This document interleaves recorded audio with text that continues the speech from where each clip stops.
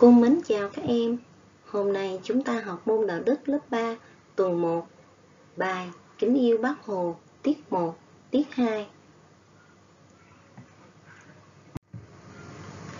Đến với bài tập 1, em hãy tìm hiểu nội dung và đặt tên cho từng ảnh dưới đây. Ở đây chúng ta có 4 bức ảnh. Các con hãy suy nghĩ và đặt tên cho mỗi bức ảnh phù hợp với nội dung của mỗi bức ảnh nhé.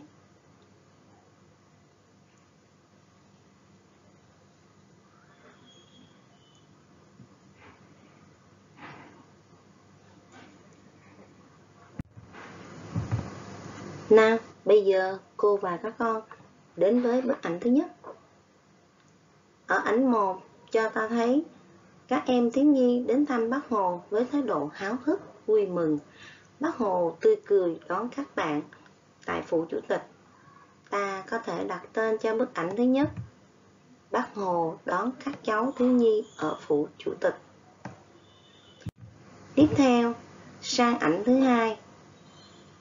Bác Hồ rất vui khi vui chơi cùng các cháu thiếu nhi. Vậy ta có thể đặt tên cho ảnh thứ hai.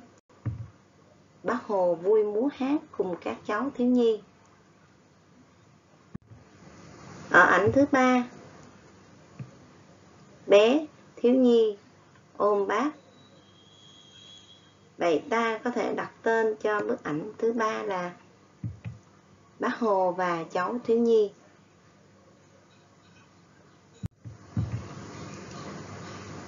Để thể hiện tấm lòng yêu thương của thiếu nhi, bác Hồ đang làm gì đấy? À, ở bức ảnh thứ tư, chúng ta thấy bác Hồ đang phát kẹo cho các em thiếu nhi. Vậy ta có thể đặt tên cho ảnh thứ tư là Bác Hồ chia kẹo cho các cháu thiếu nhi. Vừa rồi cô cùng các em đã đặt tên cho bốn bức ảnh ở bài tập 1. Cô có lời khen với những em nào đã đặt đúng yêu cầu nội dung của mỗi bức ảnh. Chúng ta sang đến bài tập 2, đọc truyện các cháu vào đây với bác. Sách giáo khoa lớp 3, trang 3. Nào, bây giờ các em nghe cô kể nhé. Một buổi sáng mùa hè, cô giáo dẫn các cháu học sinh đến vườn Bách Thảo Hà Nội qua phủ chủ tịch. Cô chỉ cho các cháu biết đây là nơi ở và là nơi làm việc của bác Hồ. Như một bầy chim, các cháu chạy u vào, bám lấy hai cánh cổng sắt để nhìn thấy nhà bác cho rõ. Bỗng nhiên, trên thềm phủ chủ tịch, bác Hồ xuất hiện. Bác đứng đó nhìn các cháu. À, các cháu cũng nhìn thấy bác. Thế là không nén được niềm vui sướng, cô và các cháu cùng reo lên. À, bác Hồ, bác Hồ muôn năm. À, bác cũng vậy gọi bác chú bảo vệ bộ đội và bảo chú cho các cháu vào đây với bác. Niềm vui thật bất ngờ, những bàn chân nhỏ bé lon ton chạy lên phía trước. Vừa chạy các cháu vừa hô to. Chúng cháu chào bác ạ. À. Bác Hồ cũng bước nhanh xuống thềm.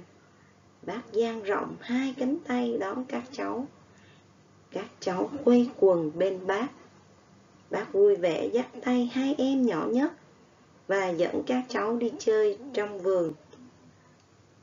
Trước khi các cháu ra về, bác chia kẹo cho các cháu. Bác căn dặn các cháu phải chăm học, vâng lời cha mẹ và thầy cô giáo. Bác hứa cháu nào ngoan, học giỏi, bác sẽ khen. Rồi bác bắt tay ôm hôn từng cháu một. Các cháu ra khỏi cổng phủ chủ tịch, ngoảnh lại, con thấy bác vẫn đứng trên thềm, nhìn theo vẫy tay âu yếm, tiễn các cháu ra về. Theo đạo đức 2, nhà xuất bản giáo dục năm 1994.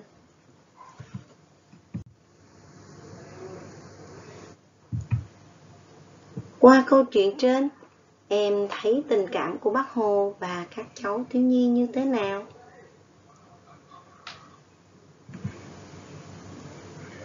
Chúng ta có thể trả lời Bác dành cho thiếu nhi một tình cảm yêu mến vô cùng thân thương đấy các em. Và cũng như thế, thiếu nhi cũng dành cho bác sự kính trọng vô cùng, luôn kính yêu bác Hồ.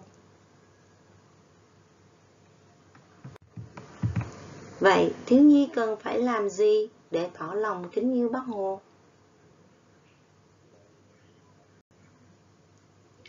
À, thiếu nhi cần chăm học, vâng lời cha mẹ và thầy cô giáo để tỏ lòng kính yêu sâu sắc nhất với bác Hồ. Ở bài tập 3, các em hãy nêu một vài biểu hiện cụ thể của một trong năm điều bác Hồ dạy thiếu niên nhi đồng. Bây giờ, cô cùng các em nhắc lại năm điều bác Hồ dạy nhé. Điều 1.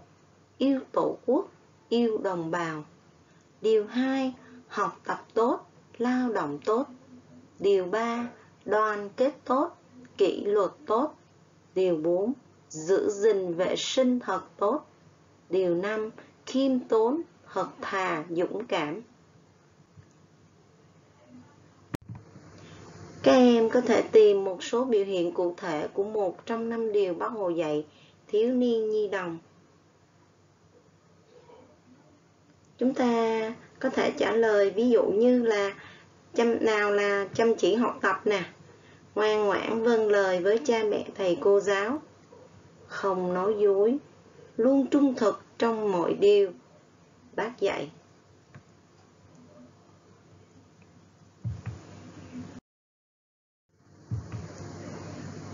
Chúng ta đến với câu hỏi tự liên hệ.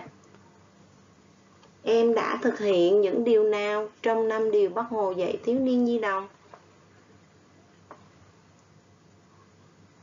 Với năm điều Bác Hồ dạy, em đã và đang cố gắng thực hiện và phát huy để xứng đáng là cháu ngoan Bác Hồ. Ngoài ra, các em cũng có thể trả lời theo ý của mình đúng với nội dung câu hỏi nhé. Còn điều nào em chưa thực hiện tốt? Vì sao? Cô mong các em hãy cố gắng hơn nữa để trở thành con ngoan trò giỏi nhé.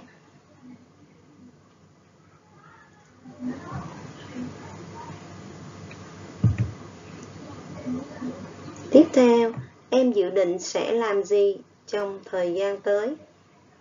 Có thể trả lời tùy theo ý các em dự định sẽ cố gắng học tốt để không phụ lòng cha mẹ thầy cô.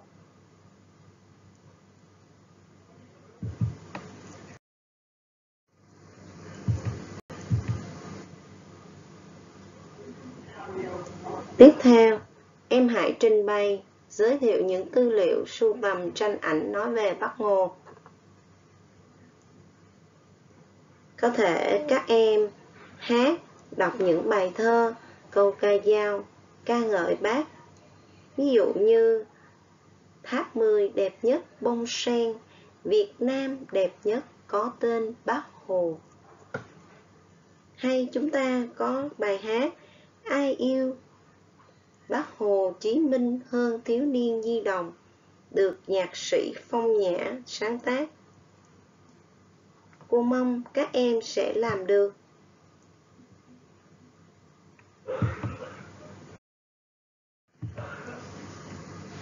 đây là những hình ảnh mà cô sẽ cung cấp cho các em. Nói về bác bác hồ với các cháu thiếu nhi dũng sĩ miền nam. Bác trồng cây vào mùng 1 Tết năm 1969 tại Hà Tây, Hà Nội. Bức ảnh kế tiếp, bác Hồ và các cháu thiếu nhi vui liên hoan văn nghệ nhân ngày quốc tế thiếu nhi tháng 5 năm 1969. Bác Hồ chia kẹo cho các cháu thiếu nhi. Ngoài ra, các em có thể sưu tầm thêm những tranh ảnh nói về bác. Càng nhiều càng tốt nhé.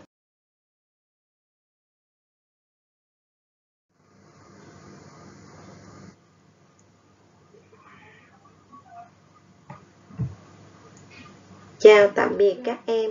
Học sinh chúc các em luôn chăm ngoan, học tốt, xứng đáng là cháu ngoan của bác.